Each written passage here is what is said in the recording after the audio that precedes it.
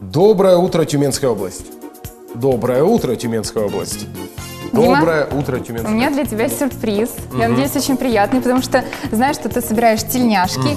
И вот тебе тельняшка морских пехотинцев. Классно, спасибо большое. Ты очень- какой-то не очень довольный, Дим. Что случилось? Да нет, все нормально, действительно, спасибо Дима, большое. говори.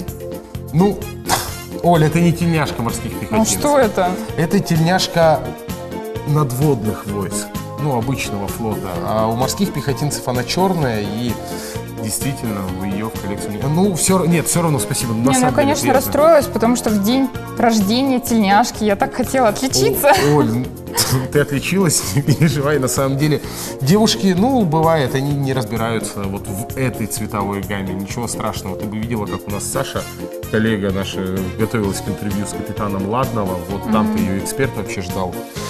Подбирала себе тельняшку. Ну, ты не переживай, все равно спасибо все равно носи с удовольствием. Да, буду. Спасибо, спасибо.